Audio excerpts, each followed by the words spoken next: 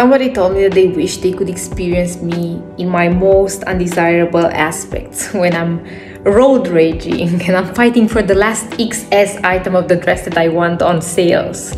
I told him that probably that's never gonna be possible because chances are that when he's in my presence, I will never allow myself to like swear like a sailor when I'm driving. I will only display the aspects that I feel are pretty and lovable. And that made me think that probably social media's unconscious purpose was to portray all of us in our complexity, in our multitude of facets.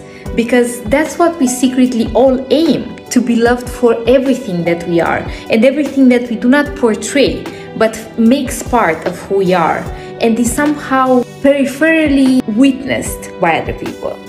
Like when I share these moments of intimacy with my cat and we are head to head and he puts his little paw on me and he starts licking my nose, that's his sign of affection. And I'm thinking, these moments of intimacy, nobody else but me and him will be able to ever witness because chances are that if there is somebody else in the room, I will start being aware of that external gaze and I will somehow manufacture my behavior in that specific context.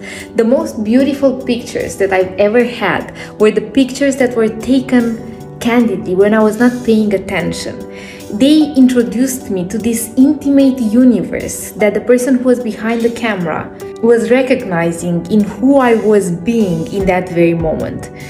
I appreciate less the moments where I'm posing in front of the camera. I'm very familiar with that aspect of me. Several years ago, I had this business idea. I was thinking of hiring a photographer and a storyteller to accompany people. And then at the end of maybe a 30 day journey or 60 day journey, they would get a photo album of how this particular photographer depicted their being in their daily life. And then the storyteller would write the story that came to life through their interaction and through their witnessing this person. I think that secretly we all hope to be loved for everything that we are. And more so, it feels so uniquely magnificent when somebody sees us for that what we do not want to show and they tell us that we are beautiful and lovable exactly for that what we so purposefully put so much effort into hiding and keeping away from the external gaze.